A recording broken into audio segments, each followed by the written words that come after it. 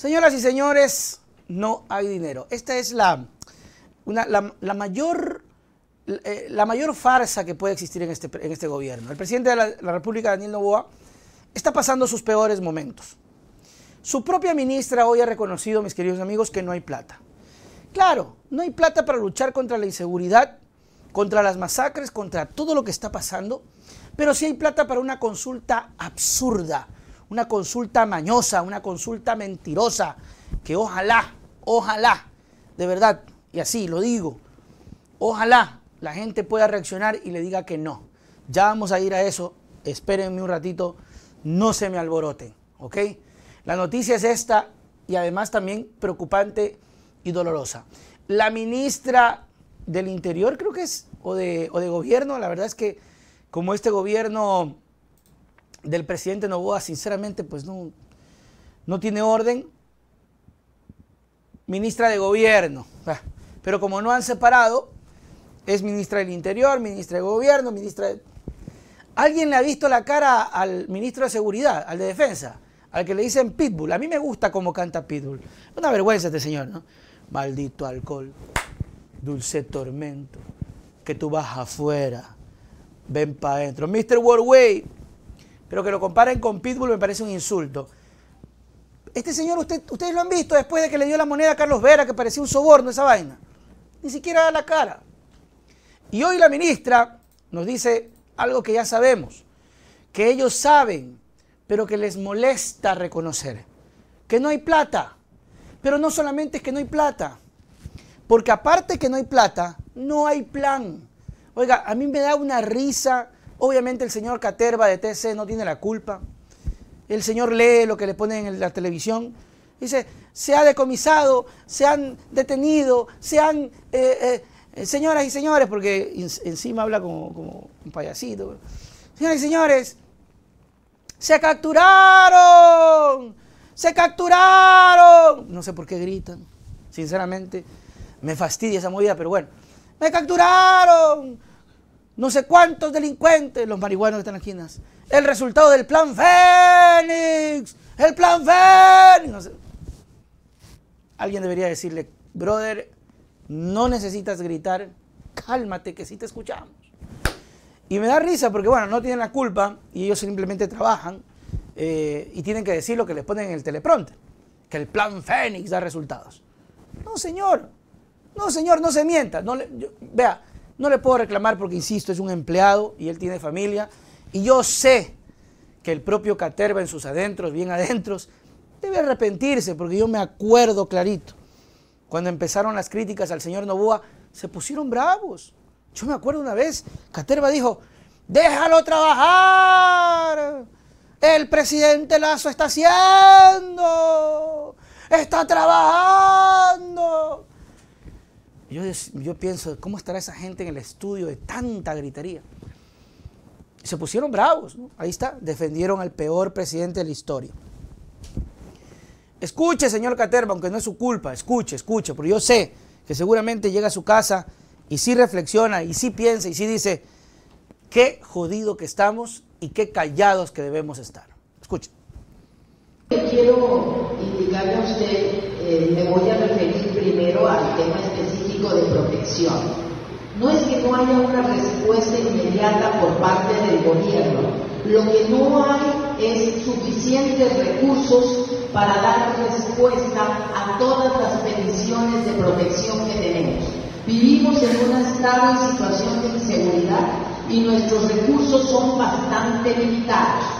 Tenemos peticiones de cargos blindados con un nivel de protección hasta para fusiles. Entendemos lo que cada uno de nuestras autoridades quiere y requiere. Estamos coordinando con la Policía Nacional, con la Dirección encargada de protección, pero tenemos esa realidad, la falta de recursos suficientes.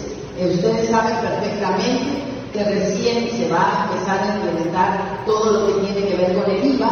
Esperamos una recaudación de 100 millones de dólares pero en este momento no tenemos suficientes cargos blindados. Inclusive el personal policial ya no descansa. Estamos trabajando 24 horas al día en todos los ámbitos. Entiendo que hay esta sensación de desprotección, pero las autoridades del gobierno están preocupadas y ocupadas en ver cómo se resuelve la problemática, pero es compleja. No sé si ustedes están de acuerdo conmigo, pero creo que esta señora hace rato ya no funciona.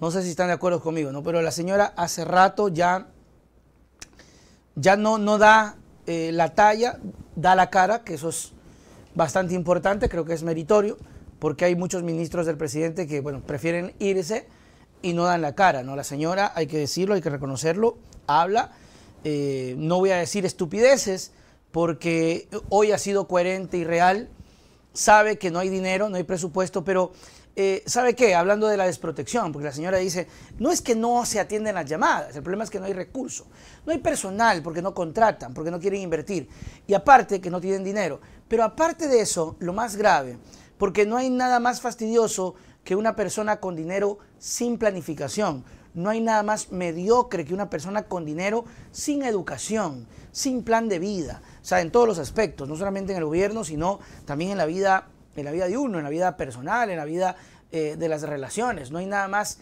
carente de todo que alguien, eh, un tonto con mucho dinero. ¿no? Y no es que no quiero ofenderlo a usted, señor presidente, sin ánimo de ofender, pero no hay nada más terrible que eso. Entonces, eh, nos sacan en cara de que obviamente ya va a subir el IVA, o sea, son tan, tan indolentes que hoy precisamente la especulación está matando a todos y que ya el gobierno dijo, van a salir eh, van a salir a hacer operativos para controlar la especulación. Eso tiene que ser siempre y eso tiene que ser política de Estado, no solamente porque se sube el IVA, sino cada vez y cuando. Señores, señora, no se, no se trata de que no hay plata. Es cierto eso, eso es cierto. Hoy habló con la verdad, pero entre dientes, porque debería reclamarlo con fuerza. Señor presidente de la República, denos el dinero que necesitamos. No tienen esa valentía. Yo recuerdo que lo tuvo la señora que tuve el gusto de entrevistar, que trabajó con Lazo. Se me fue la ministra de Inclusión Económica y Social, Mae Montaño. Yo recuerdo clarito, dije, Mae es la primera en renunciar, la primera en reclamarle presupuesto y la primera que le dijo, nos vemos Guillermo. ¿Por qué no tienen la valentía de reclamarle al señor Novoa el presupuesto? Porque son cómplices también. ¿Y por qué no quieren causarle problemas? Porque lo tienen cuidadito. Reclámele al presidente el presupuesto.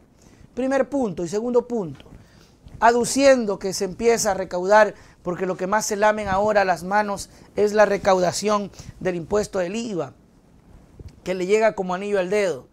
Algunas, algunos cientos y miles de dólares que van a recaudar. ¿De qué les sirve la recaudación, señora ministra, si no tiene un plan claro? para contrarrestar la delincuencia. ¿De qué les sirve tener los cientos y miles de dólares que podrían obtener de nosotros si no sabe administrar? ¿Qué garantía tenemos si en estos meses no han tenido ni siquiera la sensatez de mostrar un real plan Fénix? No esa babosada y mamarrachada que tratan de vender con las capturas de los marihuanos. Póngale otro título, captura de marihuanos en todo el país y se llenan la boca diciendo, hemos capturado a 10 mil terroristas. ¿Se acuerdan ustedes que era tan iberosímil que la señora y el señor salieron a la semana, una semana, y dijeron, le ganamos al terrorismo, le ganamos a la delincuencia. Oiga, poquito más de cerebro. Eso era una completa y vil mentira. No hay presupuesto, no hay plata, pero tienen dinero para llevarnos a las urnas el próximo 21 de abril, ya no más. El 20 o el 21. Yo les, anticipo, amigos, que no voy a hacer la cobertura de eso, de verdad, de, de corazón, no lo voy a hacer. Ya vamos a hablar de la consulta. A mí me da mucho coraje y esperemos que en esta campaña que estamos haciendo por el no, más allá de personas que tienen eh, específicamente preguntas, en este caso dos, por el no, no quiero ahondarme o no quiero dedicarlo sino a eso, sino al no general, ¿no? al no completo, al no, al no total, porque me fastidia sobremanera que este gobierno empiece a mentir y a manipular y de que si es que votan por el sí, arreglamos todo. Creo que fue la peor cosa que pudo haber hecho el presidente de la República, convocar una consulta popular cuando la gente lo que quería era acciones y no nuevamente ir, nuevamente ir a las urnas. Este, eh, eh, hay una tengo una redacción de esto, ¿no? La ministra Palencia confirmó en una rueda de prensa que por disposición de la Corte no se puede ordenar una prórroga adicional del estado de excepción, pues ya están por cumplir 90 días desde el primer decreto firmado. Hay una sentencia que nos dice que no está viviéndose un estado de excepcionalidad porque ya han pasado tanto tiempo y la situación habría normalizado, dijo Palencia. No, no, tanto por eso, sino que no se puede vivir bajo un régimen excepcional y bajo el régimen de miedo porque es completamente absurdo que la gente buena, la gente camelladora, que quiere buscarse el pan de cada día, tenga que encerrarse en la casa, si es algún negocio nocturno no lo puede hacer, mientras te están matando gente en tus narices. Y eso usted, señora ministra, tiene que asumir su rol, no su culpabilidad, porque usted no pasó ahí, usted no lo hizo, pero su rol político.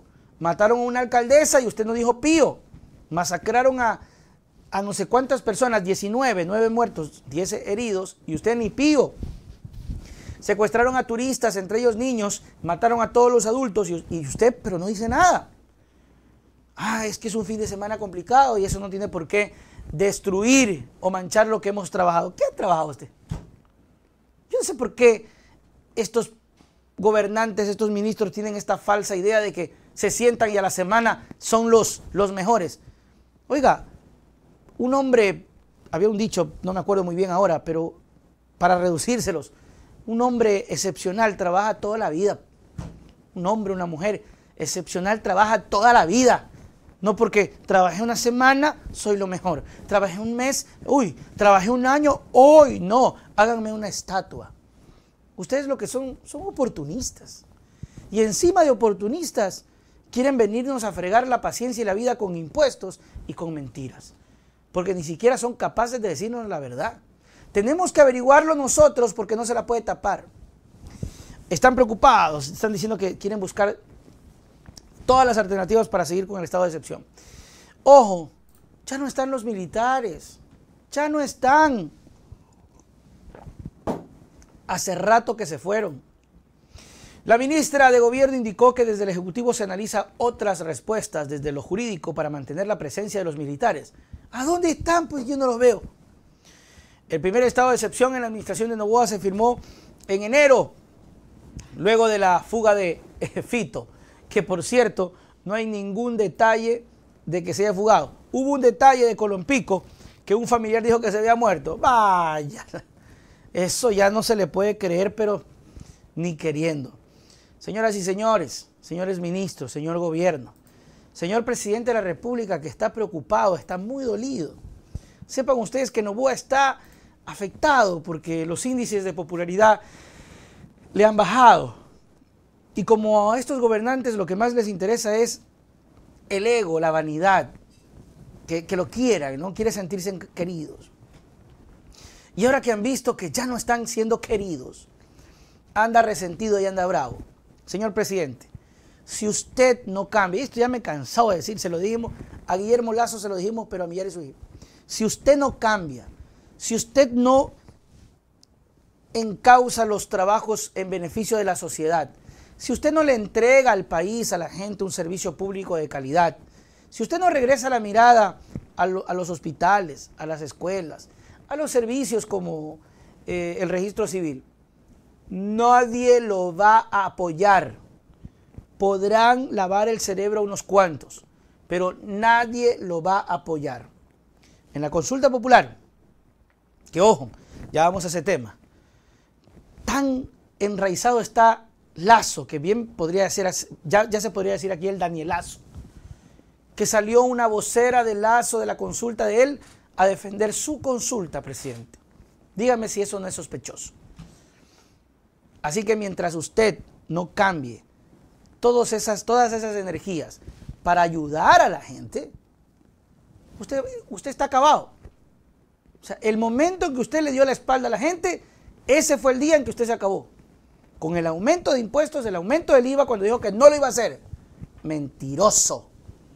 Mentiroso. Y ahora va a pagar las consecuencias electorales. Las consecuencias electorales.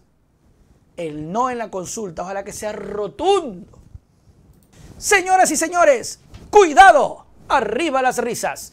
Stand Up Comedy, que lo vamos a hacer en Guayaquil, sábado 27 de julio de este año, a las 8 de la noche, Teatro Las Cámaras. Y en Quito, el sábado que viene, a las 8 de la noche, 3 de agosto, Cámara de Comercio. El precio de las entradas son 20 dólares platea alta, 25 platea baja, 30, 30 dólares zona VIP. Sin embargo, si usted compra de manera anticipada, si usted compra desde ahora, tiene el 20% de descuento, que es decir, vamos, 5 dólares menos en cada una de eh, la localidad. Así que pilas, cuidado, arriba las risas. Compra con antelación. Ahí está el número para que separes tu boleto 099 6522 664.